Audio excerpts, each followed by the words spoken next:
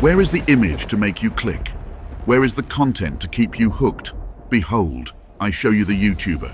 He is that clickbait. He is that madness. You need something that makes people go, what the fuck? What the fuck did he say in that video? What the fuck? I need to know. How did we get from Nietzsche to Mr. Beast? I tried myself at writing an intro to this, but I just don't know where to start. What started out as advertising really can't be called advertising anymore. It turned into behavior modification. Blackmailing with money?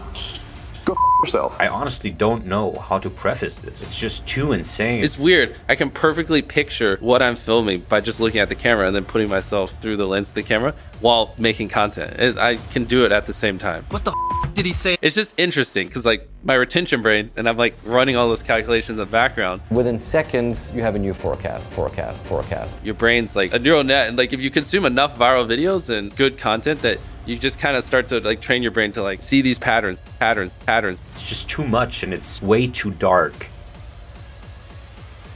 How did we get from Nietzsche to Mr. Beast? Well, let's find out. Both Nietzsche and Mr. Beast are artists, so the first question I asked myself was what kind of tools are they using? Since Nietzsche wrote in the late 19th century, obviously a lot has happened since then. In the 21st century, computers amalgamated the radio, camera, and TV screen into a single tool connected to the internet, fundamentally altering humanity's relationship with the word. We could even argue that it brought it back to its primal source. This technology not only virtualized written and spoken words, but also body language and democratized its representation. Everyone can now record or stream live videos of themselves, effectively decentralizing holistic, embodied self-expression. However, the digital age has introduced a profound paradox. While it has given us unparalleled freedom of expression in terms of content production, the algorithms governing content distribution on social media platforms have played a pivotal role in shaping our identities by determining which content rises to the top of the attention hierarchy. Significantly, they have prioritized images and videos over text, which is why we can say that, whereas the Gutenberg revolution propelled the written word to the top of human attention. The internet revolution placed the video on the throne and by direct extension, the human body. Okay, so one of the key observations here is that Mr. Beast is the product of a technological revolution, the democratization of digital video production.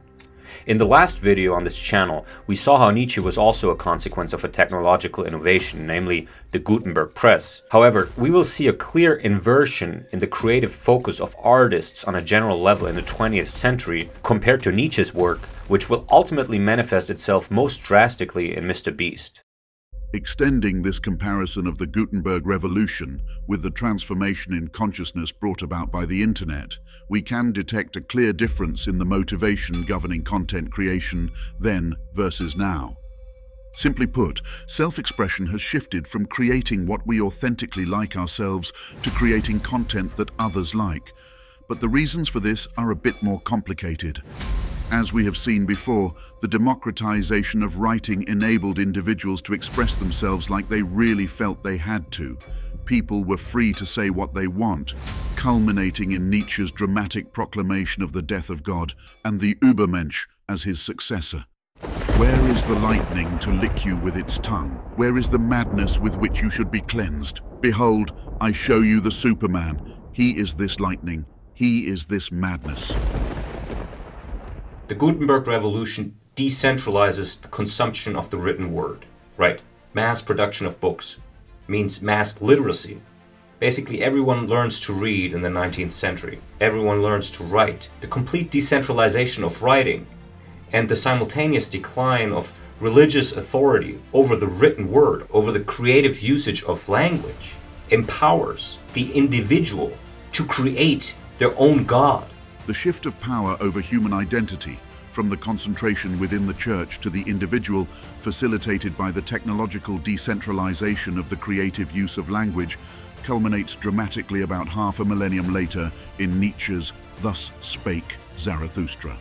This book can be seen as a modern scripture, Nietzsche's New Testament, introducing the successor to Jesus Christ, the Übermensch, which means overman or superman.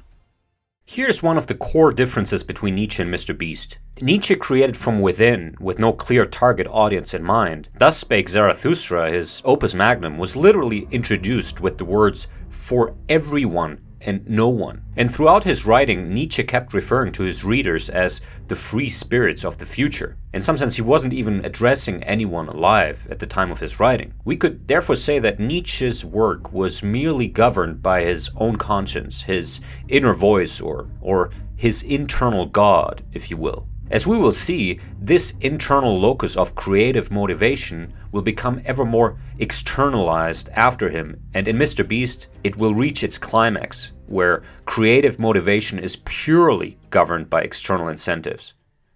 In the 20th century, a strange interplay between individual freedom and the power of the collective took place.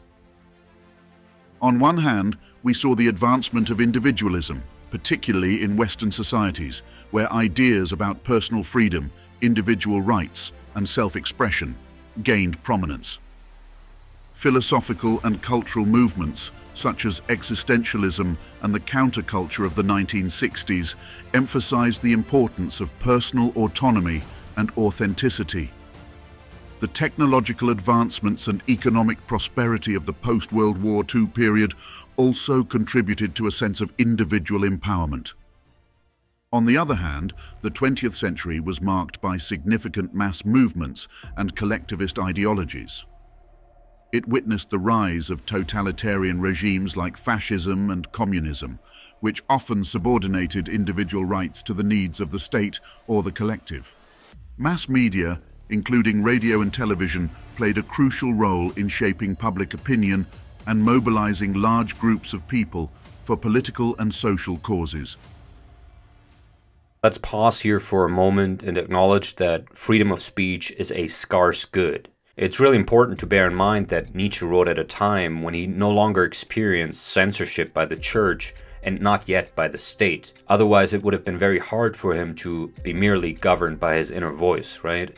Additionally, his lifestyle was that of a social outcast, essentially, completely disconnected from society, further feeding the devil may care character of his writing.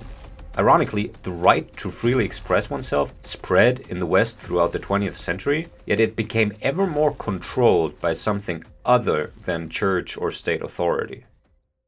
Mass media also started to determine the value of art and literature in a revolutionary way. Whereas great artists in the past, like Leonardo da Vinci, for example, would be hired by the church, city-states, wealthy merchants or noble lords, art in the 20th century would be mass-produced.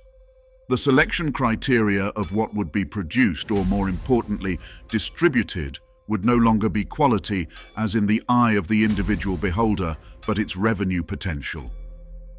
In a way, we can say that during the time of the Gutenberg Revolution, artists, intellectuals and poets alike pursued their own self-interest in the spirit of authenticity. However, in the 20th century, this motivation shifted from internally perceived self-interest to monetary interest. Artistic production became governed by the spirit of capitalism. Fast forward to the age of Netflix, and we no longer watch movies and shows which some individual writer or director perceive to be of true creative value to themselves, but that which Netflix has ordered based on a careful market analysis. The utility function, which you may know from Economics 101, became the poetic imperative of the media. It doesn't matter if content is authentic, what matters is that it sells. Netflix, which launched its streaming service in 2007, led the way in using data to choose what content to make and who to serve it up to. For Netflix, everything you do on the platform is a data point. And so with this data, they know what people like, they therefore know what to commission. The availability of big data sets has made it much easier for creators of all kinds to determine what kind of content is going to be popular. We identify 19 variables that really drive film performance and move the needle. Within 20 seconds, the AI is able to provide you with a very detailed risk-weighted forecast for box office, home video, and TV numbers. The beauty of it is you can go back, change any input, and within seconds, you have a new forecast. At this point, I have to apologize to all of you. The guy you just saw who wants to essentially trap us in a world of eternal copies of copies of copies without original, that guy is German. Since the media are mass media, what sells the most is that which appeals to the most people, that which resonates with the smallest common denominator of the entire Netflix population. Our most primal motivations, fears and desires, sex, violence, excess of all kinds, and, most importantly, money itself. Money. That which separates the haves from the have-nots. Now, this is probably the worm at the core of today's media. Because content has to sell, because content is made to be sold, it must be optimized for its commercial value. There's no way around it. Commercial value of content, its revenue potential, increases the more the content is tailored to some kind of basic common denominator of the entire Netflix or YouTube audience. Otherwise, content will not scale. But because you cannot really specify the revenue potential of a movie or a show unless you compare it to previously successful productions, you reproduce that which has been successful in the past. And what is that? Well, that which has resonated with basic human psychology on the broadest possible level. This is part of the reason why there are so many shows which are kind of like Breaking Bad.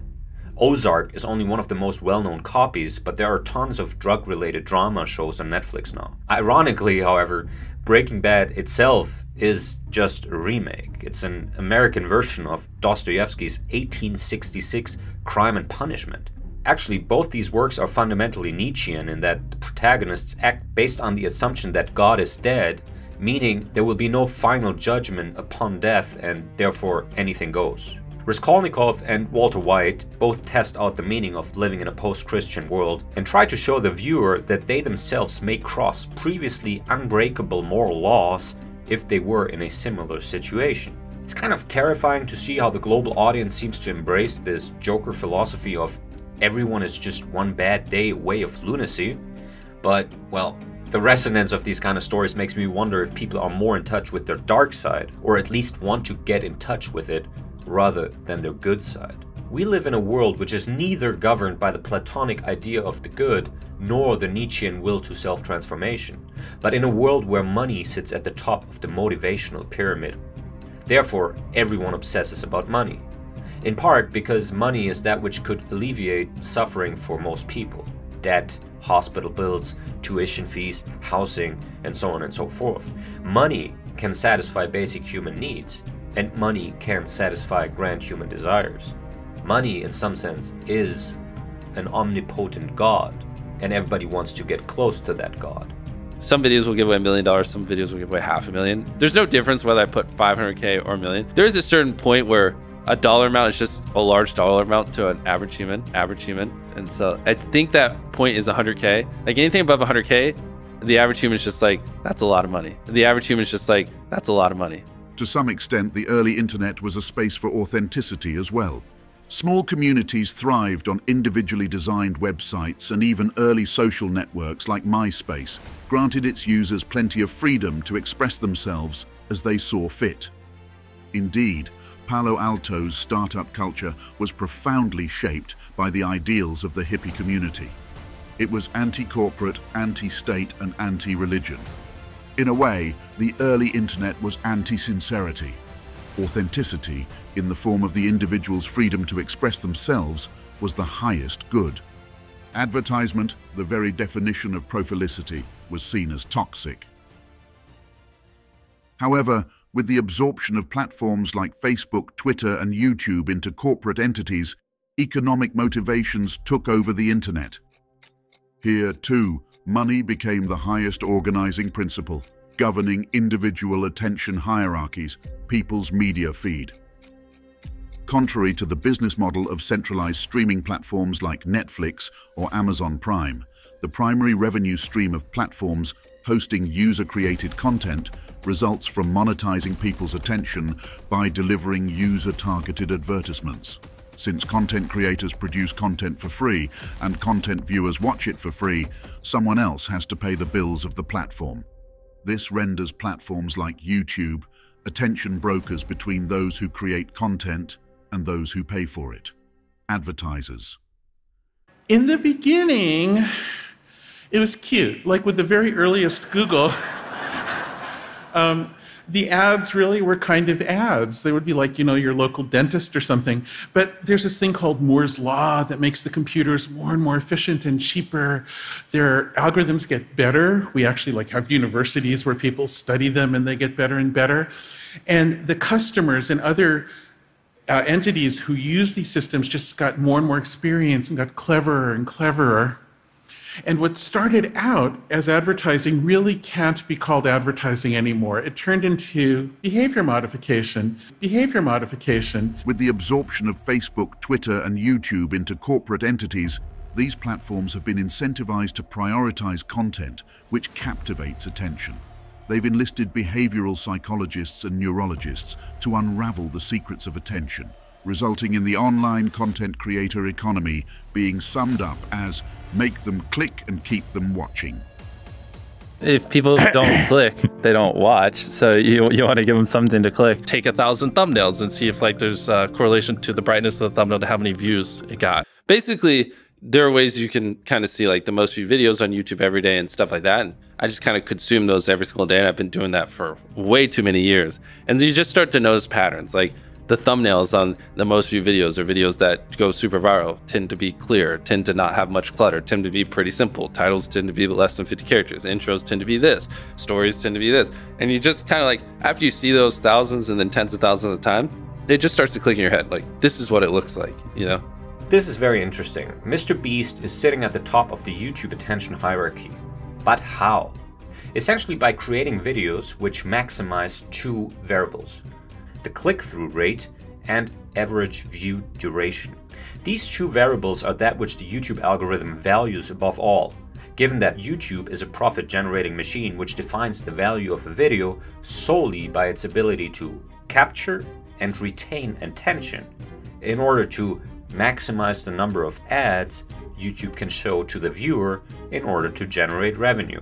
Bear in mind, YouTube is not meant to deliver value to you, but to its paying customers. The thumbnail and title have to be maximally impactful in order to trigger engagement. You know, when thumbnails set expectations. Like what you're saying is like, I like bananas. And what you need is bananas are the best goddamn food on the planet. You need something that makes people go, what the fuck? What the fuck did he say in that video? What the fuck? I need to know. On the other hand, average view duration is the average time a video is able to keep the viewer's attention. At the very beginning of the video, to minimize drop off, you want to assure them that those expectations are being met. If you're putting a million Orbeez in a pool, don't start the video with you shopping for, you know, your mom's birthday present. At the beginning of the video, just say, This is 100 million Orbeez. We're gonna fill this pool and this entire backyard with them. Match the expectations, and then you wanna exceed them. So you wanna assure people that what they clicked on is what they're getting, and then blow their mind and be like, but you're also getting even more. Maximally valuable videos are therefore those which capture and retain attention at scale. This in turn incentivizes content creators to aim for the smallest common denominator of human psychology and perception, which effectively inverts the Maslow motivational pyramid. In this spirit, attention is captured by means of visual and linguistic signals triggering the most primal instincts, and attention is then retained by means of a hypnotic content structure. Anytime you say the word algorithm, just replace it with audience. The algorithm didn't like that video? No, the audience didn't like that video. if I wasn't retaining a viewer, just would it make sense for you to promote it? Why would you promote a 10 minute video that people watch on average a minute and a half? What seems to work above all, at least for Mr. Beast, are survival related videos and competitions with large cash prizes. The fear of loss and the desire to gain something of immense value, money, seem to be universally attractive motives, similar to how music videos tend to feature the same universally attractive motives over and over again. Now, I said that YouTube is not meant to deliver value to you, and yet here I am pretending to deliver value to you, which seems contradictory, right? This is so because beyond the inversion of the Maslow pyramid at scale, YouTube also motivates niche content for small communities. Interest communities, we could say. While Mr. Beast is the universal attention king of YouTube, there are many particular attention kings for very specific individual attention hierarchies. But before you celebrate YouTube as a haven for individualism, think about this. Optimizing content for a small subset of subjective preferences leads to an atomization of the total YouTube network into very, very small communities without any content which could unite them in a shared meta narrative. And you may argue that that's okay, but, well, what's of more value than that which unites people? It cannot be that which divides people into echo chambers on the one hand, and it can also not be content of zero moral value on the other hand, can it? So here's the irony of 21st century media. Unlike religious or political media, neither Nietzsche's individualism nor capitalism motivates media which can unite people underneath a shared value structure.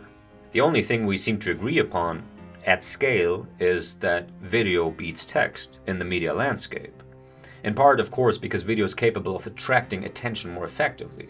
Images in motion are closer to reality than static symbols on a white background, after all. It's just interesting because, like, my retention brain, when you talk about something, I'm instantly like, hmm, what value are they going to get? How many of them are going to be interested? What percentage of people do I think will lose? And I'm like running all those calculations in the background. And that whole conversation, like the long, anyway, it's just something I can't turn off. My like bells are like, error, error, this is bad. Your brain's like a, you know, like a, a neural net. And like if you consume enough viral videos and enough good content that you just kind of start to like train your brain to like see it and see these patterns that happen in all these viral videos. And so that anytime I watch a video or a movie or anything, I just can't stop thinking about what is optimal. And so it's like it gives me a headache sometimes when I watch something too slow or I don't think is optimal. Obviously, my taste isn't the end all be all, um, but that's something that kind of torments me. If that makes any sense. Yet there are other factors at play in attracting and retaining eyeballs. Popularity is a major one because people naturally gravitate toward what others value. This is akin to observing children playing. Their preferences aren't necessarily based on intrinsic qualities, but on what their peers possess. In essence, values are socially constructed to some extent. This is where the concept of profilicity emerges powerfully. Individuals started shaping their online identities, on corporation-governed social media platforms based on how they anticipated others would value them. As a consequence, people learn to create not just content they authentically enjoy sharing, like pictures of their cats or their favorite cocktail recipes, but also to shape their own virtual personas, taking into account how they would be perceived. This is how online identity became a product of second-order observation, it's just interesting because like my retention brain, when you talk about something, I'm instantly like, hmm, what value are they going to get? How many of them are going to be interested? What percentage of people do I think will lose? And I'm like running all those calculations in the background. This is how online identity became a product of second order observation, shifting one's self perception from the inner world to how the outer world subjectively perceives oneself marking a mass transition from authenticity to profilicity on a global scale. It's weird. I can perfectly picture what I'm filming by just looking at the camera and then putting myself through the lens of the camera while making content. It, I can do it at the same time. So you're like real time editing in my the head. video. Yeah, yeah. That's something that didn't at the start come natural to me, but in the last probably like five years, it, it's happened.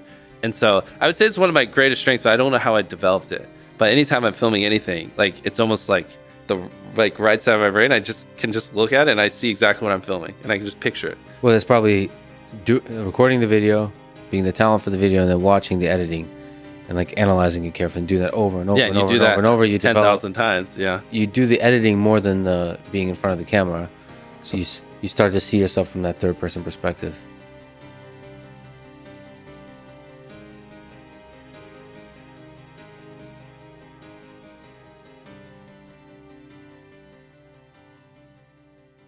In an ironic twist, in the 21st century, words liberated from the oppression of the church and tyrannical state control in the Western Hemisphere found themselves subjected to algorithms designed to exploit the most primitive psychological biases of the human mind for the sake of capturing people's attention in order to generate profits from advertisement.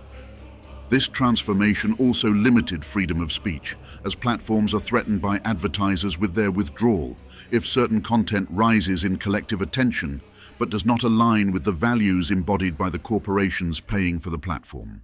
Uh, Adpocalypse, you know, and a lot of creators' revenue plummets because people are are doing videos that advertisers don't deem acceptable, and then now all these big advertisers are pulling, and the little guys are getting hit, because ad rates dropped by thirty percent, and the person who just quit his job to go full time content creation mm-hmm. now can't sustain it. This had been said online. There was all of the criticism. There was advertisers leaving. We talked to Bob Iger I hope today. they stop. Don't advertise. You don't want them to advertise? No. How do you think then about the economics of, of X? Actually, what, what this advertising boycott is, uh, is, is going to do, it's, it's going to kill the company. And the whole world will know. As a result, there can be neither an authentic expression of an Übermensch on Netflix nor on YouTube now. Centralized media platforms like Netflix favor representations that follow previous standards over originality, rendering all media productions retro Centralized media platforms like YouTube, which distribute content produced through a decentralized creation process, prioritize content that aligns with their content policies. A collective moral code that an Übermensch would challenge and seek to overthrow with their own values. Somewhat ironically, the Übermensch, as Nietzsche envisioned him, that lightning to lick your tongue, that madness with which you could be cleansed, would be shadow banned in today's media reported by viewers as emotionally harmful in a quasi-Sovietic process of censoring creative expression.